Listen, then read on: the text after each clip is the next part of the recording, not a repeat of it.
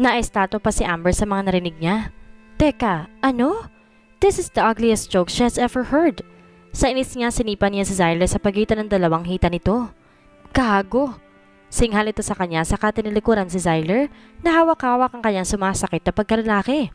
Sapol na sapol ito kaya halos mamilipit siya sa sakit. What the hell? Why did you do that?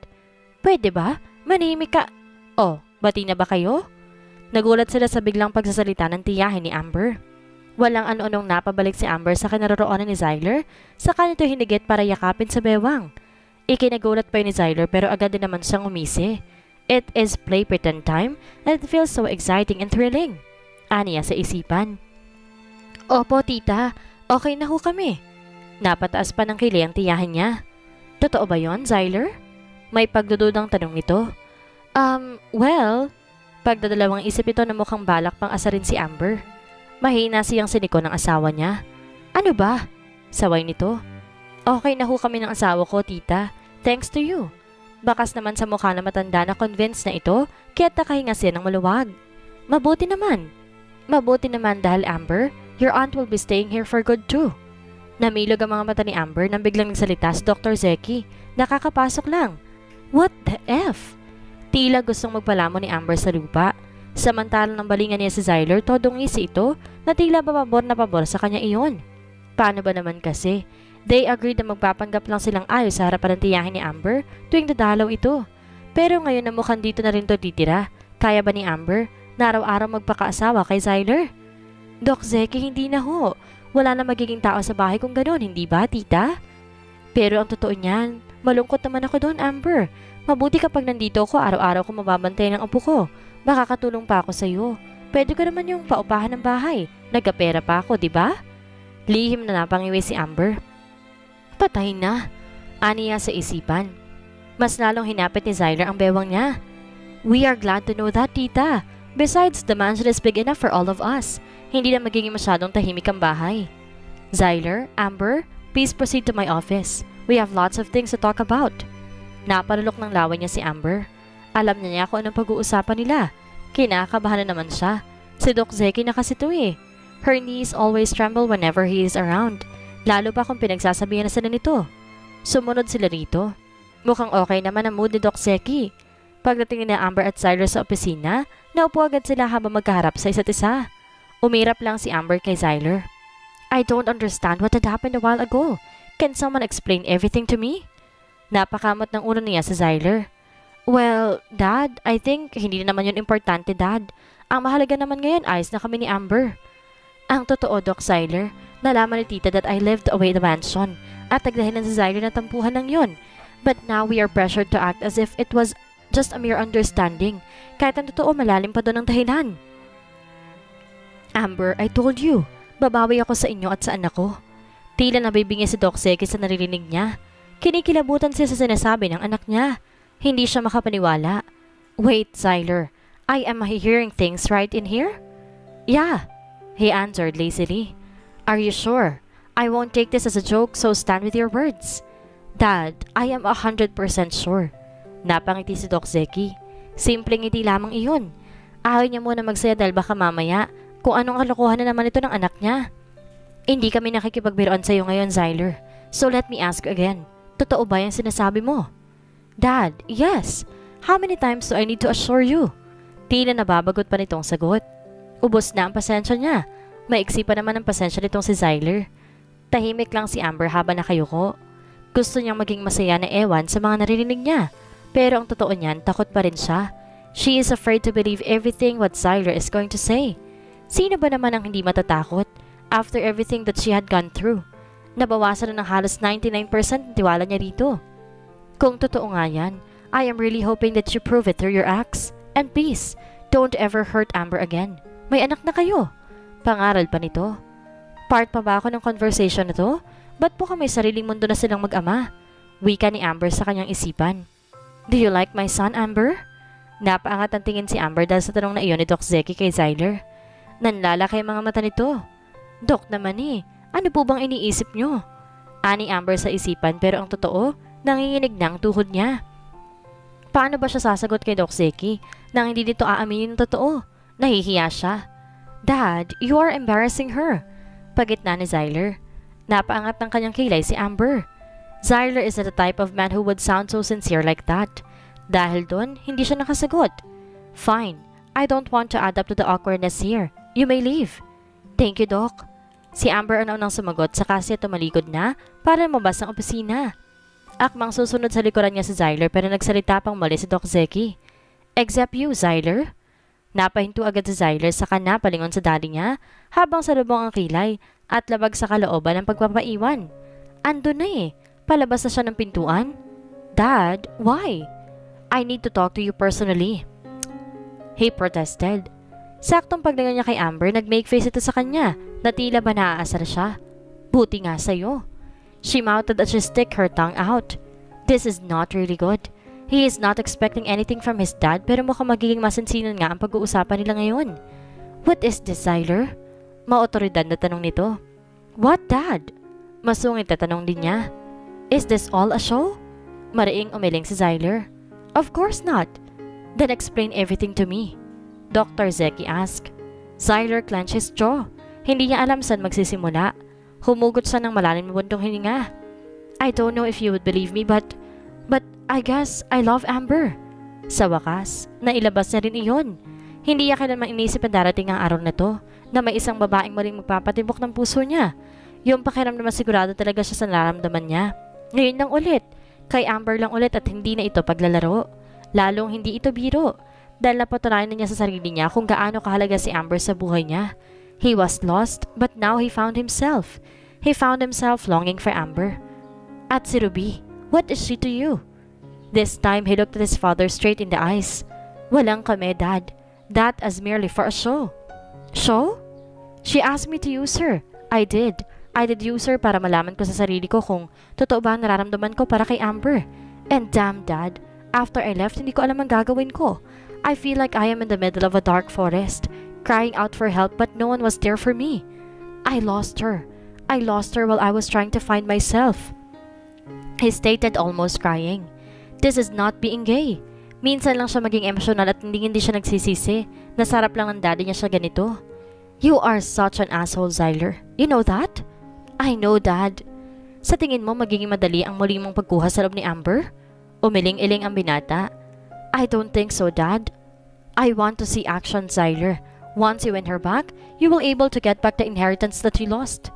Pilit nang umiti si Zyler. Kahit hindi na, Dad. I just want to get her back. I want to be a good husband and a good father this time. Hindi makapaniwala si Doc Zeki sa mga naririnig niya, but he is just too overwhelmed. Parang ibang tao nagsasalita ngayon sa harap niya. He can now see his younger self to his son. Marahan niyang tinapik-tapik ang balikat ng anak niya. You're gradually being the new Zyler that everyone knew. Take this as your last chance to set things straight, son, and everything will follow. Will Zyler take this chance to prove to everyone that he really will change? Babalik na nga bang dating Zyler na nakilala ng lahat? Akala ko hindi pa isinisilang ang babaeng magpapatibok muli ng puso ko. But I ended up marrying that woman. He uttered while he went out of his father's office. Samantala, tulala lang si Amber sa malawak na balkonahe ng mansyon. Niyakap niya ang kanyang sarili. The house is big enough for all of them. Naroon sa tiyahin niya si Baby Zora na simula na makita nito ay hindi na niya binitawan pa. Mukhang balak pa nga nitong doon itabi si Baby Zora sa kanya sa pagtulog. She never thought that her strict aunt would turn out like this. Mabuti na rin dahil mas lalo itong napalapit ang loob nito sa kanya. Coffee? Napalingon siya sa kanyang likuran nang marinig ang boses ni Zyler. Napaangat agad ang kilay niya. Akala niya ba makukuha niya ako sa kapilang? Is he really that motivated to win him back? At sinisimulan niya na agad ngayon. Ayoko. I refuse saka ibinalik ang paningin sa labas. Medyo madilim ang paligid. Nagbabad siyang umulan. Matutuwa naman ang bulaklak dito at madidiligan. Mas gusto ko pang tignan ng mga bulaklak kaysa harapin ang pagmumukha niya, no? Wika ni Amber sa kanyang isip. Saka sinapa cross arm. Suplada yan? Come on, just try this coffee I made myself. Hindi ka magsisisi. Nagsisisi nga ako sa'yo. Sa kape pa kaya? Pambabara ni Amber sa kanya. Tila bumara tuloy ang lalamunan ni Zyler sa mga narinig. Napanguso siya. Hindi siya marunong sumuyo for heaven's sake. How do they do it? Sanay kasi siyang siya ang laging nakakataas. Ang sinusunod, ang tama. His pride is as high of a mountain. Ito naman, parang kape lang eh. Sige na, tikman mo na. Minsan lang naman ako magtimpla ng kape. Zyler, pwede ba? Lubay-lubayan mo ko. Ngumisi si Zyler saka mas inilapit ang pagmumukha niya rito. Ay paano kung ayaw ko? Pangungulit pa nito. Mabilis siyang itinulak ni Amber. Ouch! Ang init! Reklamo nito. Namilog ang mga mata ni Amber dahil sa sigaw nito. Oh no! The coffee spilled on his chest. Nataranta siyang bigla. Uh, sorry, sandali. Uhubarin mo yung t-shirt mo. Natatarantang utos ni Amber at di na alam kung anong uunahin gawin. Tiimbagang na nagwad ang kanyang top Zyler at tumambad kay Amber ang magandang pangangatawan nito. Yun nga lang namumula ang bandang chest ito gawa ng pagkakatapon doon ng kape. Ikaw kasi, paninisi pa ni Zyler. Baka sa mukha ni Amber ang pag-aalala. Nakalimutan niyang may hawak nga palang kape ang asawa niya. Sorry na nga eh, sandali. Saan ka pupunta? Nagtatakang tanong ni Zyler pero hindi na sumagot si Amber. Tumungo ito sa kusina, naghiwa ng kamatis. Pagkatapos o nagmamadali siyang bumalik sa balkonahe. Pinaupo niya si Zyler sa round couch kung saan sumandal ang binata. Lay down. Lagyan natin ng kamatis ang bandang natapunan ng kape. Amber, alam kong yummy ako pero wag mo naman akong gawing ulam. Gagawin mo ba akong sinigang? Kunot noong reklamo ni Zyler. Isang malakas na batok ang binitawan ni Amber sa kanya. Eh kung ipakain ko kaya sa'yo to, ikaw na nga ang ginagamot, ikaw pang maarte. Bahala ka na nga dyan. Visit na to. Siya na nga ginagamot sa pamaarte. Protesta ni Amber sa isipan niya. Aalis na lamang sana siya nang bigla siyang higitin ni Zyler. Ito naman, joke lang eh. Sa lakas ng pagkakahigit ito, nasubsob pa si Amber sa dibdib niya.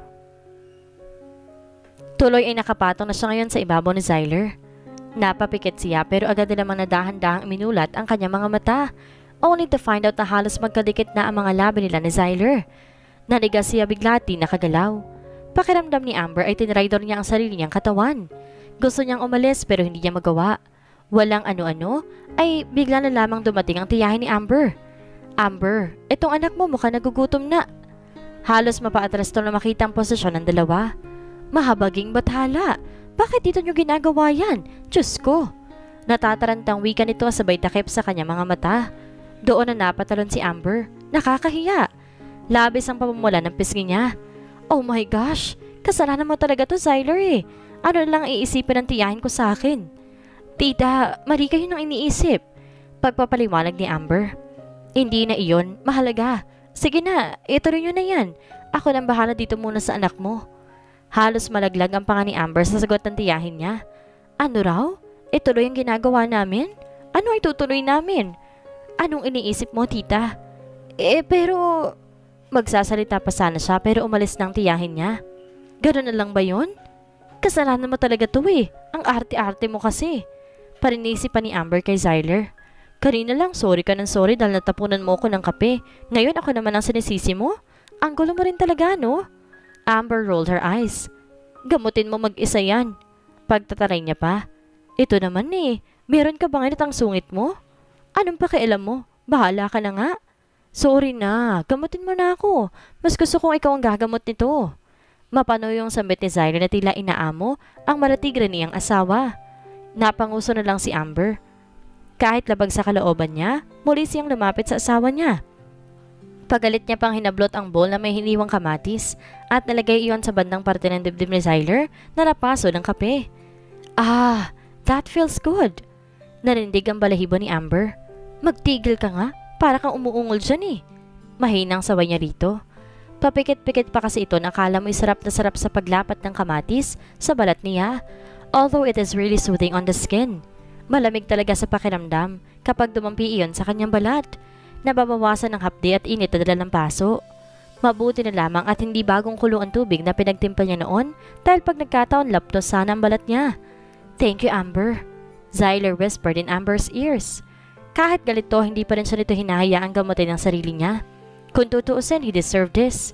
Kulang pa ito sa sakit na idulot niya sa puso ni Amber at tanda siyang panindigan ng pagbawi sa sinasabi niya. Sa kalagitnaan ng paggamot sa kanya ng asawa niya, biglang umilaw ang phone ni Amber. Sabay pa silang napatingin doon. Nakita kagad ni Zyler ang pangalan ni Tristan. Hindi yun nakatakas sa kanyang mga mata.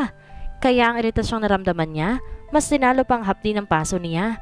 Nagkatinginan pa silang dalawa ni Amber bago pa nito sinagot ang tawag. Excuse me? Paalam nito saka lumayo ng kaunti kay Zyler. Hello, Tristan? Bati ni Amber. Nilakasan pa nito lalo ang pangalan ni Tristan nang mas marinig pa ng asawa niya. Nilandian niya pa ang pagkakasabi sa pangalan nito. Siya lang ba ang may ganang lumandi? Aniya sa isipan. Psst, Tristan my foot. Niwala nga sa kalingkiyan ko, insik na yan. Nakangusong bubulong-bulong si Zyler habang salubong ang mga kilay. Feeling jealous, ha? Huh? Ah, uh, yes. Huwag ka mag-alala. I'm fine. Thank you so much, Tristan. You know I owe you everything. See you when you go back here. Mamimiss kita. Pagpaparinig pa ni Amber kay Zyler. Nakangisi siya sa isipan niya dahil nakikita niya na naaasar ito. Bagay lang yan sa'yo. Ikaw naman ngayon ang mairita, Vandros. Hindi na natiis pa ni Zyler ang naririnig niya, kaya inagaw na niya ang cellphone mula kay Amber. Hey, stop calling my wife. Pagdidiin pa nito ng salitang wife. Ines na binawi yun ni Amber sa kanya. Zyler, ano ba? Don't be so rude. Napaka-disrespectful mo naman. Am I still your wife? Nah, not at all. You shattered our marriage contract. You left, and now you're claiming me as your wife? What the hell is your problem? Natameme na naman si Zyler. I just ripped those, but we are not annulled. So whether you like it or not, I am still your husband, and you are still my wife, Amber. Nagtagis ang bagang ni Amber sa sinabi nito. Nakakaingit ka naman ano? Ewan ko ba kung saan mo nakukuha yung kapal na mukha mo? Hindi mo man lang ba ako tatanungin kung gusto ko maging asawa mo? Magugustuhan mo ko kung paano ko magmahal. Napahagalpak ng tawa si Amber. Pagmamahal? Does he even know how to love? Why are you laughing? Iritadong tanong ni Zyler. Ang galing mo kasing magbiro. Hindi na ako maniniwala pa dyan, Zyler Vandross. Ano bang kailangan kong gawin para maniwala kang mahal kita, Amber? Layuan mo ako. You know that is impossible since we live under the same roof and your aunt is here. And now that she is already living with us, we need to share one room to make her believe that we're already really a husband and a wife. Tila namutla doon si Amber. He is freaking right. Jeez, parang gusto niyang mapa-facepalm. Bakit ba hanggang ngayon hindi pa rin umaayon sa akin ang tadhana? I just want to teach this man a lesson. Aniya sa isipan. Ano? Mind if I take you to bed now? Bed-bed ka dyan. Manigas ka. Pagsusupra ni Amber, saka siya nag-walk out. Natatawa na lang tuloy si Zyler habang umiiling-iling. You cannot stop me, Amber. I will make sure to do everything to get you back. Now that you are within my reach, there is no reason to let go of you anymore. Bago tuluyang maglaho sa paningin niyang asawa niya, sumigaw pa siya. May nakalimutan ka, ani Zyler. Mataray pang lumingon si Amber. Ano? Iritado pa nitong sagot. Ngumisa si Zyler. Puso ko. Halos magsiyak yata ng lahat ng dugo ni Amber sa ulo. Hindi niya alam kung kikiligin ba siya o maiinis dahil sa walang kwentang pinagsasabi ni Zyler sa kanya. Parang tanga. Nakakainis siya. Akala niya ba kinikilig ako sa mga banat niya? Like duh. Simpleng wika ni Amber sa kanyang sarili habang inaalala ang ganap kanina. Aanin ko naman ang puso niya. Puso namang di makontento sa isa. Halos umusok ang ilong ni Amber papasok sa kanyang kwarto. Walang pinagbago rito. Still the same room she left. Nakakamiss din pala. The crib, the bed, and everything is almost new. Walang kaali-alikabok. Kahit pa paano kumalma siya. Maya-maya, pumasok ang tiyahin niya kaya nabaiwas siya ng tingin. Naalala niya pa rin ang nangyayari kanina. Nakakahiya talaga yun. At sa harap pala taga ng tiyahin niya. Nakita pala ganun dito ang hindi sinasadyang pangyayari. Oh, nandito ka na pala. Ano, tapos na ba kayo? Tila walang mali siyang tanong ang tiyahin niya. Napangiwi agad si Amber. Kinalaman niya ang sarili niya sa kasi napatas ng kilay.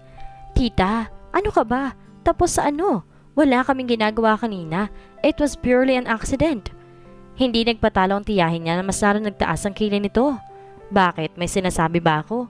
Wala pa nga ako sinasabi, ang defensive mo naman. Tila nasamid tuloy si Amber sa sarili niyang laway. Malay ko ba? Nauutal na sagot nito na halatang naiilang dahil hindi niya kaya makipagtitigan sa tiyahin niya. Napailing-iling na lamang ang tiyahin ni Amber sa kanila pag sa malambot na kama si Baby Zora na nahihimbing nasa tulog. Tingnan mo itong anak mo. Ganito ka rin kabait noon nung pinapatulog ka ng mama mo. Kwento nito. Napabagsak ang mga balikat ni Amber. She missed her mom. She missed her parents. Kahit na hindi niya maalala ang pakiramdam na magkaroon ito. Bakit niyo ho na ikwento? Gusto ko lang ipaalala sa'yo na mas mainam pa rin magkaroon ng buong pamilya, Amber. Gusto mo bang lumaki tong si Baby Zora na hindi kayo buo? Hahayaan mo bang mangyari sa kanyang nangyari sa'yo? Ako ayoko. Kung pwede ko namang ibigay sa kanya isang buong pamilya, bakit di ko gagawin? Is she making me feel guilty? Kinukonsensya ba ako ng tiyahin ko? Tanong ni Amber sa isipan.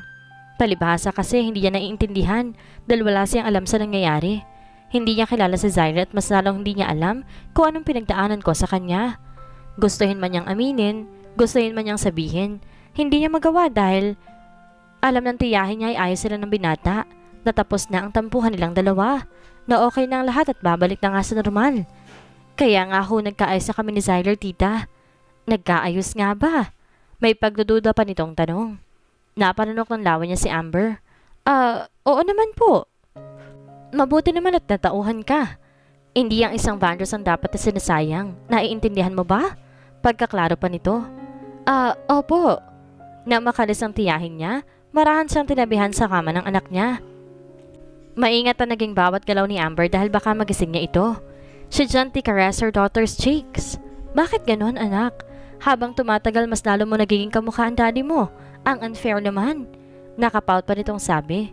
Hindi pa siya nakakapagpahinga ng tuluyan nang bigla na namang bumukas ang pintuan ng kwarto niya.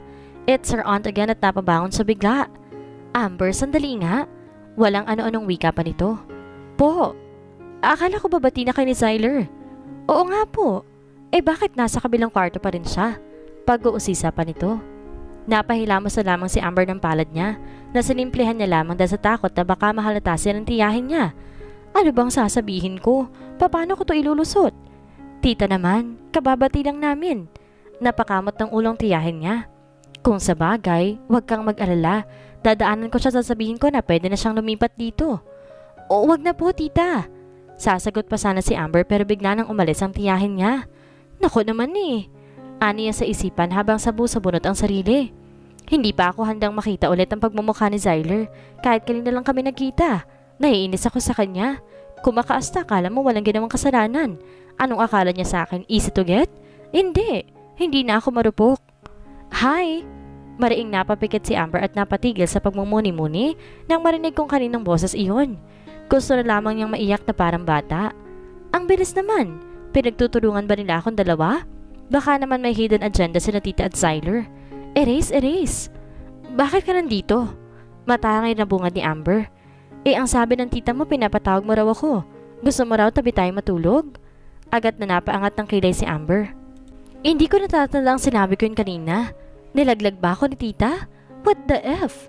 Mas lalo nang tulogin na yung mga hangin doon sa Zyler. Napaka-feeling. I never said that. So you're saying that your aunt is a liar? Taas kilay pang tanong ni Zyler. He is suspecting her even more. I didn't say she is a liar. So, she did not lie to me saying that you want me to sleep with you?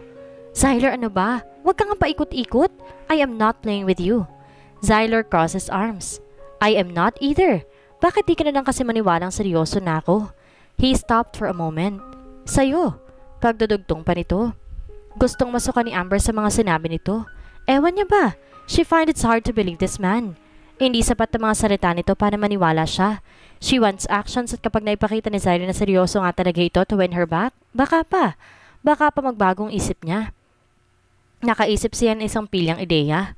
Okay, kung ipipilit mo rin talagang makikipag-share sa akin sa isang kwarto, then dyan ka sa sahig matutulog. Agad na nagsalubong ang kilay ni Zyler. He doesn't sleep on the floor. He is a CEO for heaven's sake. How can a rich man like him sleep on the floor?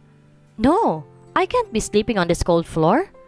Eh di ka sa kwarto mo kung ayaw mong matulog sa sahig. Ganun lang kasimple, Zyler. Alam ko namang pinipilit mo lang ang sarili mo makipag-ayos. Zyler cleared his throat. Ano? Ang ibig kong sabihin, I cannot be sleeping on this cold floor. I need a comforter, okay? Pagpapalusot pa nito. Pero ang totoo talagang labag sa kalooban niya ang pagtulog sa sahig. Never in his life he ever imagined this day would come. Pero gagawin niyang lahat para kay Amber. Gagawin niyang lahat para makuha ang loob nito. Good! Yun naman pala eh. Ayos-ayusin mo ang sagot mo dahil hindi ako natutuwa. Hindi makapaniwala si Zyler na tila under desire na siya ngayon. Pero kung kinakailangang magpailalim siya sa asawa niya, gagawin niya. He needs to forget about his old self. Ngiting tagumpay si Amber habang naghahalongkat ang comforter sa cabinet. Hindi niya mapigilan ang isi niya dahil nakikita niya sa mukha ni Zyler na napipilitan lamang talaga ito. Napansin ni Zyler ang pangiti-ngiti ni Amber kaya't nag-violent reaction agad to. Tuwang-tuwa ka naman. Nasasahig ako ngayon ano? Mabilis na binawi ni Amber ang mga ngisi niya. Ha? Hindi no? Pagsasinungaling pa nito. O ayan, sabay abot ng comforter. Naghihimotok pa sa tampo si Zyler habang nilalatag iyon sa sahig. Labag sa kalooban niya but he is actually doing it now so there is no turning back. Nahiga na si Amber at di malang nilingon ng asawa niya. Tila ba gusto nitong asarin si Zyler at ingitin dahil sa mainit at komportable nitong higaan. Samantalang si Zyler nakahiga sa malamig at matigas sa sahig. Okay ka lang ba dyan? Sarkastikong tanong ni Amber habang nakangisi pa. Solo ba naman niyang higaan dahil sa krib naman natutulog ang anak nila? Bandang alas tres na madaling araw, ginawa na ginawa si Zyler habang yakap ang sarili niya. Nanginginig ang mga labi niya. Doon lang niya napansin na sobrang init ng katawan niya. Shit, am I having a fever? Bulong niya sa sarili habang nanginginig sa lamig. Bukas pang aircon kaya sinubukan niyang tumayo para patayin yun. Nahihirapan siyang tumayo. Wala siyang lakas. Sobrang weak mo naman, Zyler. Nagkasakit ka agad? He fell down after trying to reach the switch. Patay ang ilaw. Pero na makarinig ng kalabog si Amber, agad siyang napabalikwas ng bangon. Sa kanya inion ang ilaw. What's that sound? Zyler? Gulat na bulalas niya. Napasigaw siya na makita niya si Zyler na natumba sa sahig. Zyler, what happened? Are you okay? Nag-aalala pa niyang tanong sa kanya inalalayan ang binata. Nang magdampi ang balat nila, doon niya napagtanto na hindi okay ang binata. He is having a high fever at ngayon pa talagang madaling araw. Hindi makapagsalita si Zyler. Para siyang isang lantagurin na hindi kayang dalhin ng katawan. He feels like his bone separated from his body. Nanginig lamang siya sa lamig kahit sobrang init ang katawan niya. Naalimpungatan pa si Amber pero kahit na ganoon, agad niyang inihiga si Zyler sa kanyang kama at mabilis na nagkalkal ng gamot sa medicine cabinet. She rushed downstairs to get him water. Naganda na rin siya ng basin na may warm water at isang malinis na bimpo. Nag-guilty naman siya kaagad. Ni hindi pa nga siya nagsisimulang pahirapan si Zyler pero nagkasakit na kaagad ito. Dahil sa nangyari, bumigay na kaya ang loob ni Amber para sa kanyang asawa? Ito na kaya ang simula para muling magkaayos ang gusot sa pagitan nila. Yan ang ating aalamin sa susunod nating kabanata.